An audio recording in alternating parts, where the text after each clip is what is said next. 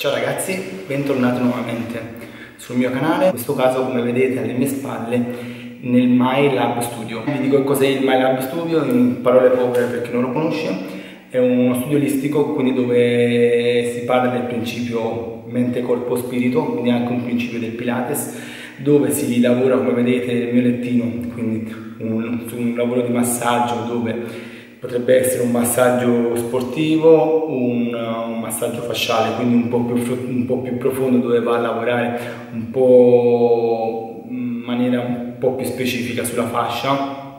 Non vi dico cosa è la fascia, se no mi apre un argomento lunghissimo. Da lì viene spostata comunque l'attenzione sulle metodiche di, della, della, postura, dalle squadre mesiere fino ad arrivare comunque al, alle problematiche posturale da correggere grazie anche a tutto ciò che ho imparato grazie al dottor McGill che è il miglior esponente al mondo per quanto riguarda le problematiche uh, del, e da lì comunque spostiamo la persona a una reatletizzazione. Quindi facciamo capire spesso e volentieri faccio capire spesso e volentieri come ci si muove perché uh, ci si muove male oppure abbiamo acquisito delle posture sbagliate che ci portano delle problematiche. Quindi ci spostiamo uh, nell'allenamento funzionale, che non è altro che riportare, adesso lo dico in parole povere, tutto ciò che facciamo nella nostra vita quotidiana, punto.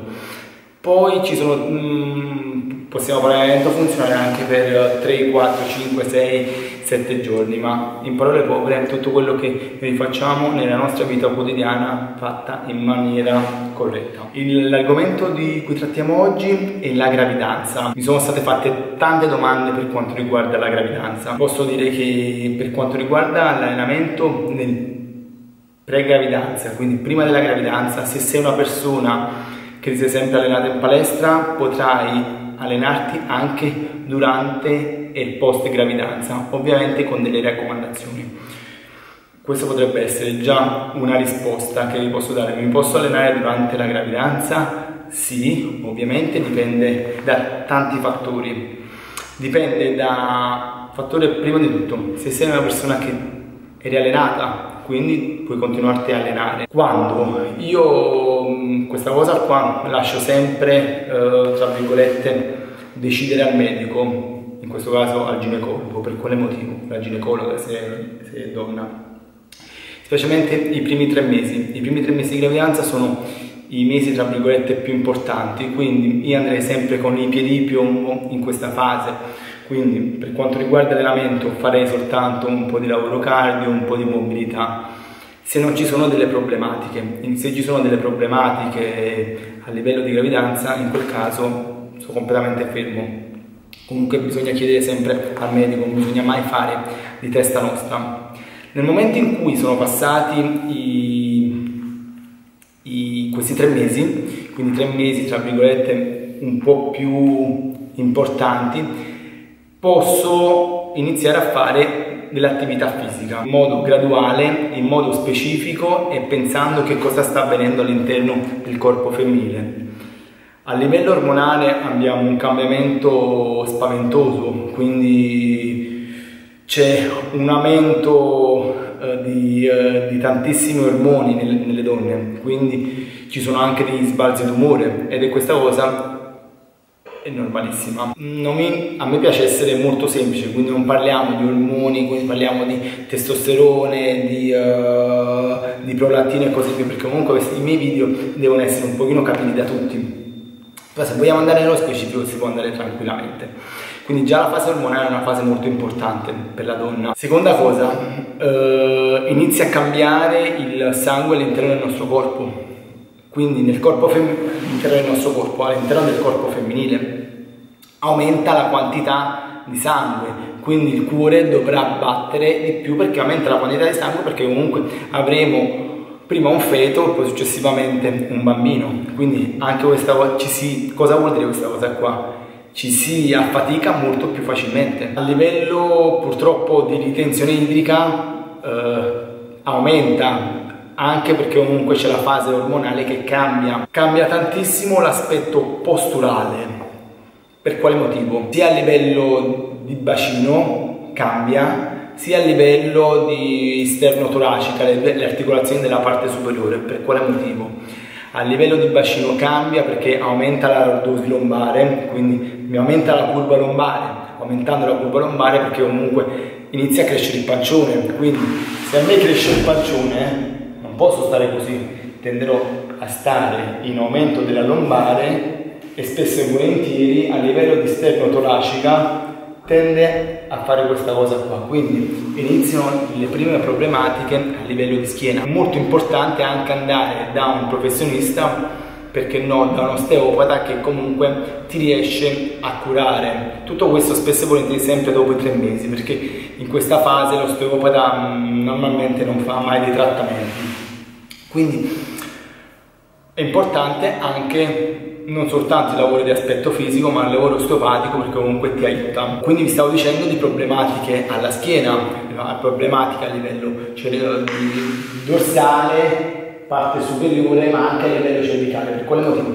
Perché qua, qua la curva cambia, quando spesso e volentieri cambia la curva le altre curve dell'achide tendono a cambiare, le curve della schiena quindi cambia qui, spesso e volentieri cambia qui, può aumentare o diminuire comunque le altre due curve, perché ricordiamo che la nostra schiena ha la doppia S per diminuire le sollecitazioni. Quando aumenta qui, può aumentare qui o può diminuire qui, Sono, il nostro ogni corpo è differente rispetto a un altro, quindi una postura perfetta, tra virgolette, teoricamente non esiste. Cambia livello parte superiore del corpo perché spesso e volentieri cosa succede? Nelle donne tende a aumentare il seno.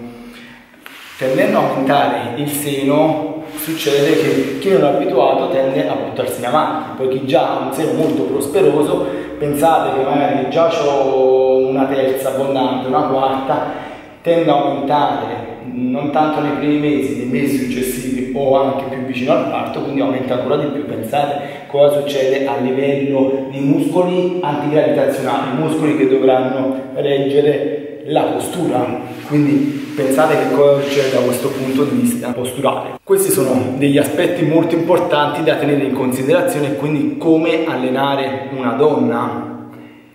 È importante allenare il diaframma, quindi la respirazione, Ricordate il diaframma è questo palloncino che abbiamo all'interno dell'addome che può aumentare sia andando verso fuori che andando verso l'alto. Quindi è importantissima la respirazione, ma è molto importante imparare a utilizzare la respirazione e imparare a utilizzare il cosiddetto lavoro del pavimento pelvico.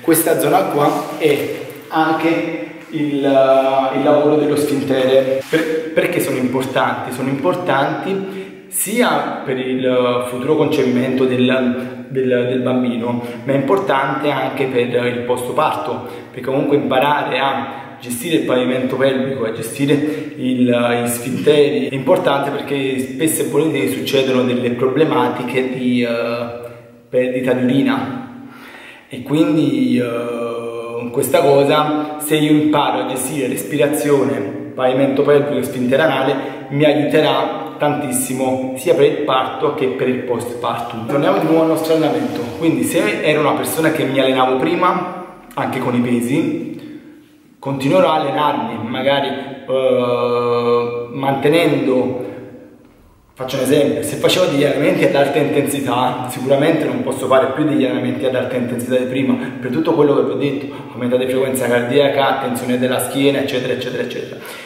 Posso fare degli allenamenti con un'intensità un po' più ridotta e dovrò, e dovrò avere delle pause un po' più lunghe perché avrò il fiatone. Quindi se face, facciamo un esempio, se prima mi allenavo in 45 minuti, adesso dovrò spalmare il mio allenamento in un'ora e mezzo. Posso fare gli squat, posso fare gli affondi, posso fare queste cose? Sì, ma bisogna capire chi ho davanti io. Perché se già ho una problematica, bisogna fare le cose con i guanti, come dico sempre. Bisogna capire la persona davanti, non tutte le persone sono uguali. Fare uno squat lo posso fare, fare uno stacco lo posso fare, fare una salita di un gradone lo posso fare. Che cosa devo evitare principalmente? Devo evitare delle sollecitazioni sia a livello di schiena che a livello di pancia. Quindi evito ciò che sono dei salti, evito di fare, se faccio discipline tipo musicali, evito di fare step e così via. Tutto ciò che va a creare una pressione, la sia per un fattore di schiena che per una pressione interna. Quali addominali posso fare durante la mia pre, durante e post? Allora, durante, ho detto dopo che sono passati tre mesi, imparo a gestire tutto ciò che siano lavori di stabilità quindi evito tutto ciò che siano delle flessioni del busto, quindi i cosiddetti crunch, i cosiddetti sit up, quindi questi, come si deve vedere scontano, tutto che faccio questo lo devo evitare, per quale motivo? Perché paradossalmente c'è una compressione a livello addominale, ma vado a fare tutto ciò che è una stabilità e va a concentrare il lavoro sugli obliqui esterni, quindi su questa parte qua, sugli obliqui interni, sul trasverso, quindi andiamo a lavorare nel cosiddetto core stability, che è fondamentale non soltanto per la gravidanza, è fondamentale per tutti, aperta e chiusa parentesi. Vado a lavorare con tutto ciò che mi dà attivazione del gluteo, tutto ciò che mi dà attività all'attivazione del pavimento pelvico, quindi tutti i vari ponti, quindi tutti i vari bridge, e dal sistema fino ad andarci delle varianti. Questo stiamo parlando quindi lavoro sull'addome, lavoro sul core stability una zanzarina. Ovviamente posso gradualmente aumentare i carichi se facciamo degli esercizi come se fosse uno squat, una fold e così via, ma graduale. Lavorare sempre con l'intelligenza, perché comunque, anche se abbiamo detto che è una cosa normale la gravidanza, però non devo esagerare, cambiare il programma di allenamento ogni 4-6 settimane, considerando questa cosa qua che è molto importante. Lavori di mobilità, aperta e chiusa parentesi, diciamo questa cosa qua. La mobilità deve essere alla base della, del, del, questa zanzara me la mangio. Prima di fare tutti gli esercizi di a livello muscolare dobbiamo lavorare sulle articolazioni, quindi lavorare con la mobilità è la cosa più importante. Che sono in gravidanza, che sto facendo attività fisica, eccetera, eccetera, eccetera. La mobilità, come, come dice il mio, il mio mentore, sono i mattoncini invisibili, quindi è fondamentale creare mobilità a livello articolare, nelle articolazioni più importanti, quindi come quella dell'anca e come quella della spalla, e successivamente andiamo a fare un rinforzo muscolare e come dicevo il rinforzo muscolare deve essere cercando di mantenere tutto i retropositori della scapola che ti mantengono la postura e di conseguenza ti mantengono un po' più dritta. Una volta fatto tutto questo, già ho fatto il buon 70% del lavoro, quindi posso lavorare tranquillamente a livello muscolare, ma è importante anche il lavoro cardio. Diceva un cardio che non deve avere un'intensità alta, ma deve essere un'intensità medio-bassa. Se voglio stare ancora più sotto, voglio, voglio essere ancora più eh, intelligente, utilizzo un cardiofrequenzimetro in modo che mi mantiene la frequenza cardiaca. Posso monitorare la mia frequenza cardiaca ce ne sono talmente tanti, da partire da quello del, del Decathlon, scusate la pubblicità che faccio, Decathlon fino ad arrivare eh, che costa un 15 euro fino ad arrivare a un 250, 300, 400 euro dove andiamo su dei prodotti un po' più specifici, potrebbe essere un Polar, un Sunto, un Garmin, eccetera, eccetera, eccetera. Quindi alternare sedute a livello muscolare con sedute a livello di cardio o altrimenti nella stessa seduta faccio lavoro muscolare e lavoro cardio all'inizio e alla fine della seduta. All'inizio lo utilizzo come aumento della frequenza cardiaca, non in modo uh, esponenziale, e alla fine lo utilizzo come defaticamento. Dopo che ho fatto la mia seduta vado a fare dello stretching, dello, spe dello stretching specifico sempre per la schiena che abbiamo detto è, quello, è quella che soffre di più. Tutto questo deve essere ovviamente programmato e periodizzato da persona a persona. Quando mi sto avvicinando al, eh, al parto vado a diminuire sempre di più l'intensità, ci sono persone che sono allenate fino al giorno prima del parto, quindi mh, mm, questo è no ma io non mi voglio allenare, dipende da persona a persona, dipende da medico a medico. Ci sono medici che hanno paura e quindi non ti fanno allenare, non ti fanno andare in palestra, magari ti fanno andare un pochino in piscina a camminare in piscina, va benissimo per la circolazione e così via. Ci sono persone che dicono ok perfetto, hai sempre fatto attività fisica, continuano a fare anche durante la gravidanza, però magari fatti seguire da una persona specifica. Punto. Per quanto riguarda uh, il post parto, lì la prima cosa che bisogna fare, bisogna un attimino fermarsi prima dei 40 giorni, prima di andare dal ginecologo. Quindi prima di andare dal ginecologo, io tra virgolette, a parte camminare un pochino se ce la facciamo, la donna non deve fare nulla, perché comunque è una, una cosa molto importante andare dal ginecologo e quindi fare una visita e vedere se comunque è tutto a posto. Dopo che sono stato dal ginecologo, barra ginecologa, è importante e se no delle problematiche e così via, è importante andare da una seconda figura, come dico sempre, andare dall'osteopata, da un fisioterapista, da un chiropratico, da una persona che comunque ti va a trattare perché comunque durante il parto, se è stato sia un parto naturale o un parto cesareo, poi lì diventa un, dobbiamo un pochino eh, aprire tanto, un discorso molto lungo sul parto cesareo. Se è un parto naturale comunque ci sta uno spostamento degli organi interni, eccetera, eccetera, eccetera, quindi comunque una figura professionale come l'osteopata ti può aiutare se è stato un parto naturale. Anche se è stato un parto cesareo, ti può aiutare sempre l'osteopata, però considerate che con un parto cesareo c'è un taglio, un taglio a livello addominale, anche se adesso fanno i tagliettini piccolini, comunque è un taglio e quindi è una cicatrice, e una cicatrice influenza tantissimo la nostra postura purtroppo, in un modo spaventoso. Le cicatrici influenzano la postura tanto, tanto, tanto, tanto, tanto. Quindi, eh, e da lì purtroppo eh, anche con, con, questo tipo di parto, quindi che non è naturale, si possono andare mm, a verificare delle problematiche come diastasi addominale Spesso e volentieri si trova anche il parto naturale, ma eh, avviene maggiormente nel, uh, nel, parto cesareo.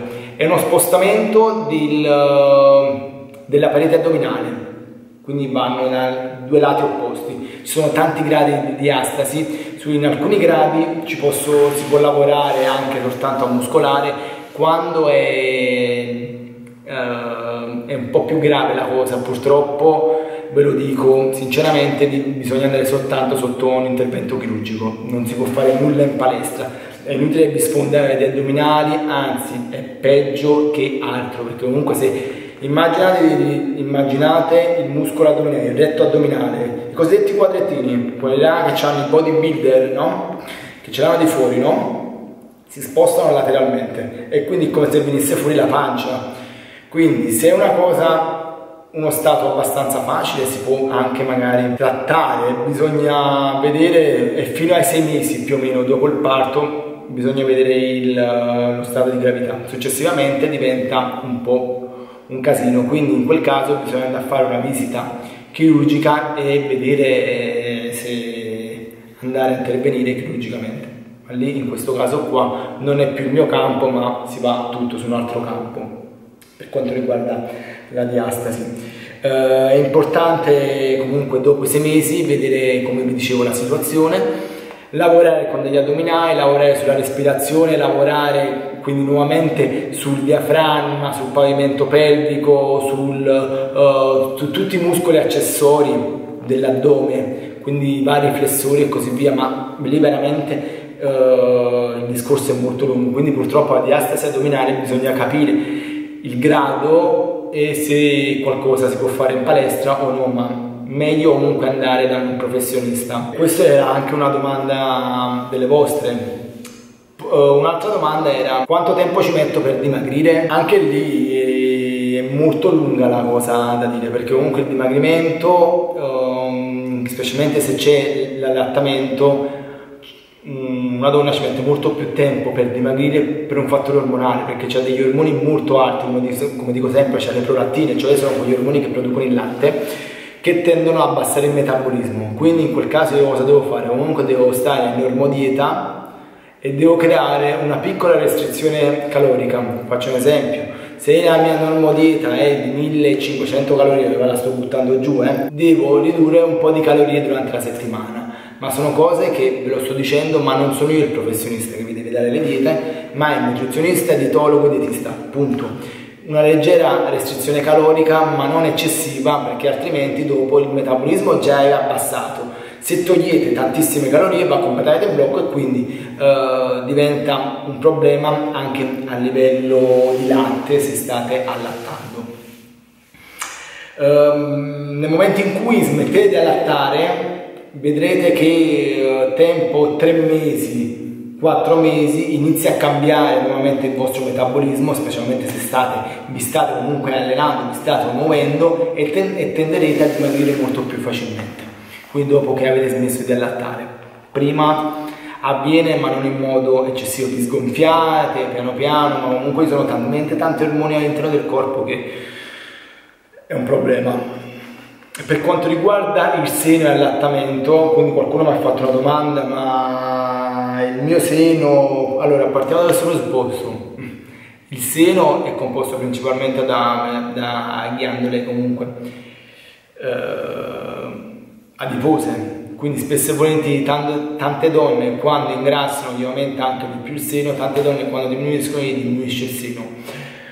Se un, purtroppo succede questa cosa che se ho un seno molto prosperoso e smetto di allattare e eh, va giù, diminuisce anche l'epidermide, quindi l'epidermide a livello muscolare ci fai poco, in quel caso se ti diminuisce tanto il seno, purtroppo te lo dico già, sinceramente anche in quel caso devi rivolgere a un professionista e se non ti piace tanto il tuo seno bisogna andare sotto i ferri.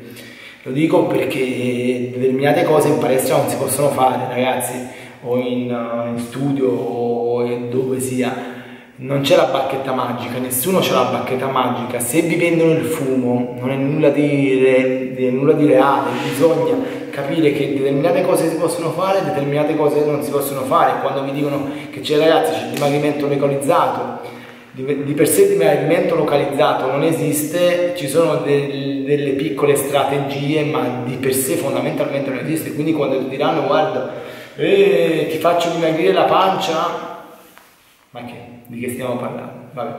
Spero di essere stato abbastanza, abbastanza chiaro. Se volete iniziarvi a allenare in gravidanza, vi dico aspettate, se non avete mai fatto nulla. Eh, proprio durante la gravidanza vi volete allenare perché magari tendete a ingrassare. Quello dico io, state sotto regime, fatevi seguire da, da professionisti e fate magari soltanto attività fisica eh, moderata, quindi camminare e così via durante, però appena avete smesso di allattare, quindi, o se no allattare comunque, appena sono passati quei 3-4 mesi, comunque dopo il nulla osta del, del, vostro medico, potete iniziare a fare attività fisica. Quindi magari se durante la gravidanza io non ho mai fatto nulla e voglio fare attività fisica durante la gravidanza, aspetterei un pochino e, e andrei dopo. Se ho preso tanti chili, così come le presi, ci vorrà del tempo, ma li perderai. Ricorda che parte tutto dal tuo cervello. Quindi se io ho intenzione di dimagrire, dimagrisco. Ovviamente devo mettermi a regime, non posso dire guarda non ho tempo, non ho voglia, alimentazione, allenamento, costanza. Ragazzi sono queste le tre le tre cose fondamentali. È importante durante la, la gravidanza una disciplina, mm, lo yoga, perché lo yoga comunque aiuta tantissimo, ci sono anche delle insegnanti di yoga che fanno proprio yoga specifico per la gravidanza, perché comunque lo yoga, ci sono alcuni tipi di yoga che sono molto dinamici, quindi diventa una sorta di mobilità, per questo fa bene lo yoga. Uh, per quanto riguarda il Pilates, quindi sempre disciplina olistica, Uh, alcuni, uh, ci sono alcuni tipi di Pilates uh, in gravidanza che vanno bene, altri tipi no. Considerate che Pilates, la maggior parte dei tutti sono tutti esercizi in flessione anteriore. Roll up, stability e così via. Nel momento in cui la tua pancetta è piccolina, va bene ancora, in cui la tua pancetta inizia a essere grossa, uno soffrirai ancora di più di schiena se fai tutti questi esercizi. Due, eh, non ci riusciva perché c'aveva la pancia, quindi magari da una lezione, a meno che fai una, delle lezioni private, va bene. Magari se fai delle lezioni, che ne so, con uh, le macchine del Pilates, potrebbe essere Deformer, Cadillac e così via, va ancora bene. Se devi fare una lezione di gruppo che non è specifico di Pilates in gravidanza, vedrai che sono gli esercizi che potrai fare e l'insegnante ti dirà questo lo puoi fare, questo non, puoi, non lo puoi fare, almeno il 50% degli esercizi del Pilates in gravidanza purtroppo non li puoi fare. Te lo dico perché anche io ho, sono insegnante di Pilates, quindi te lo posso garantire su questa cosa qua. Se lo fai invece one to one, ti dice stesso lui cosa, o lei cosa fare e quindi va bene. Quindi tante cose si possono fare, tante cose non si possono fare. Basta. Bisogna essere intelligenti e mettersi le mani nelle mani dei professionisti. I professionisti chi sono? Non soltanto il personal trainer è un professionista, il professionista è un medico, quindi per quanto riguarda il livello di alimentazione, quindi dietista, nutrizionista, dietologo e così via, ginecologo. Se vogliamo andare oltre al ginecologo comunque uh, c'è il personal trainer che ti può aiutare e, e quindi eh, sono tante le persone con cui ti puoi confrontare. Il problema, come dico sempre, io non faccio il lavoro di un altro, nel senso che io non faccio il ginecologo, quindi prima di tutto per il ginecologo, dopo il ginecologo magari di conseguenza sotto di lui ci sarà il nutrizionista che sarà parallelo al personal trainer. Rieccomi, scusatemi, ma mi sono prolungato un pochino troppo nel parlare la volta, la volta precedente anche perché devo avere un po' più di familiarità con questi video più parlati e quindi la memoria è terminata della macchina. Vi saluto ragazzi, spero che questo video vi sia piaciuto, per qualsiasi cosa o per qualsiasi dubbio o perplessità scrivetemi tranquillamente e cercherò di rispondervi, ok? Vi saluto e al prossimo video, ciao a tutti!